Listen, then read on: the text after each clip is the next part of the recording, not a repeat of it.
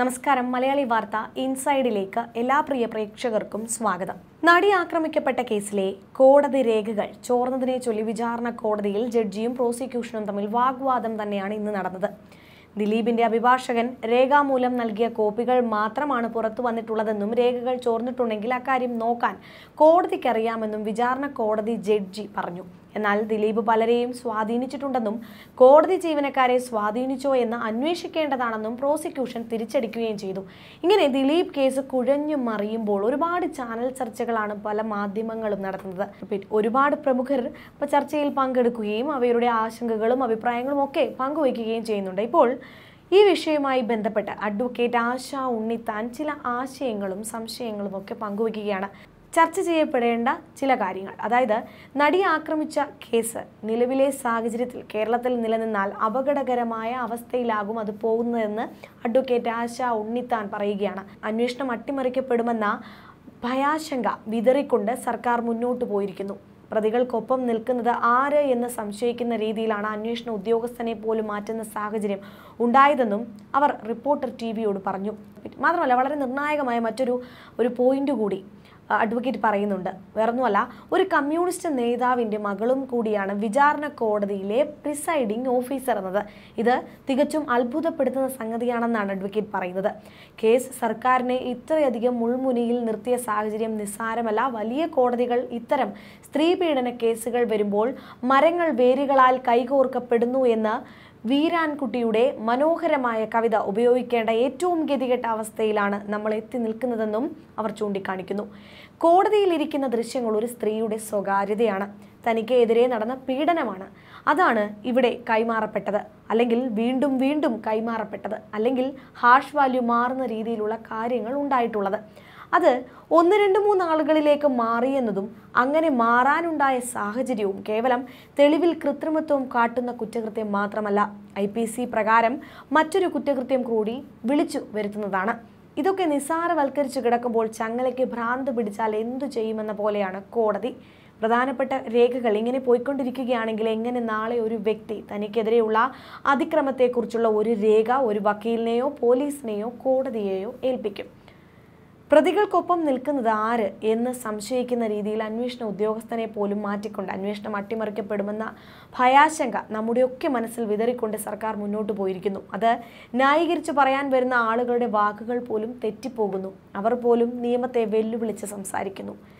സമാനതകളില്ലാത്ത അതിക്രമത്തെ സമാനതകളില്ലാത്ത രീതിയിൽ അട്ടിമറിക്കുന്നതിലേക്ക് പോയിരിക്കുന്നു. കുഞ്ഞാലിക്കുട്ടിയുടെ കേസ് നമ്മൾ കണ്ടതാണ്. കെട്ടിടങ്ങൾ ഇല്ലാതാകുന്നു മനുഷ്യരെ ഇല്ലാതാക്കുന്നു തെളിവുകൾ ഇല്ലാതാക്കുന്നു എന്ന രീതിയിലേക്ക് പോകുന്ന കാര്യങ്ങൾ ഇത്തരം കേസുകൾ സൂര്യനെല്ലി കേസ് വിതുര കേസ് പ്രമുഖരൊക്കെ രക്ഷപ്പെട്ടു പോകുന്ന കേസുകൾ.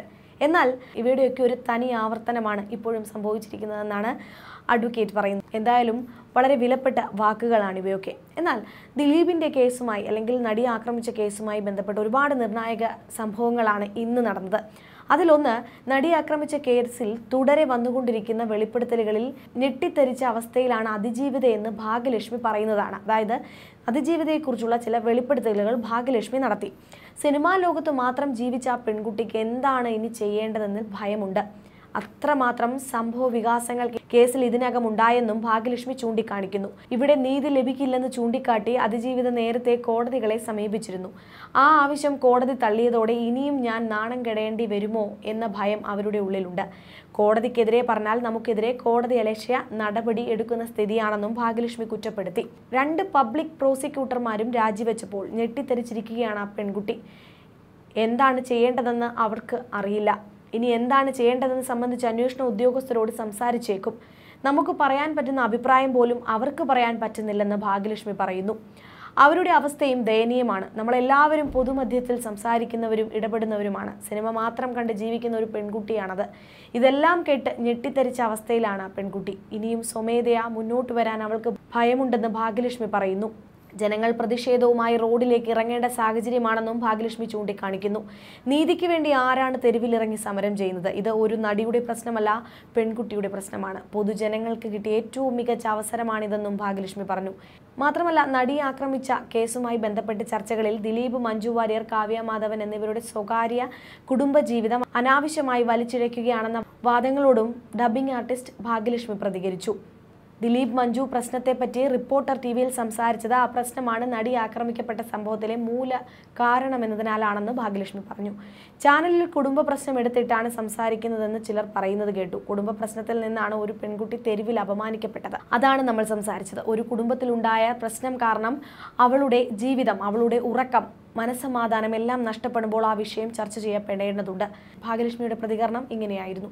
എന്നാൽ ഏറെ ശ്രദ്ധേയമായ മറ്റൊരു കാര്യം എന്തെന്നാൽ ക്രൈംബ്രാഞ്ച് മേധാവി വീണ്ടും രംഗത്ത് വന്നിരിക്കുകയാണ്. പത്രമാധ്യമങ്ങൾക്ക് നൽകിയ ഒരു അഭിമുഖത്തിൽ ക്രൈംബ്രാഞ്ച് ഉദ്യോഗസ്ഥൻ ശ്രീജിത്ത് പ്രതികരിച്ചിരിക്കുകയാണ്. ക്രൈംബ്രാഞ്ച് മേധാവി മാറുമ്പോഴും നടി ആക്രമിച്ച കേസിലെ അന്വേഷണ സംഘത്തിൽ മാറ്റം വരില്ലെന്ന് തന്നെയാണ് A D G P A Sreejith വീണ്ടും ആവർത്തിക്കുന്നത്.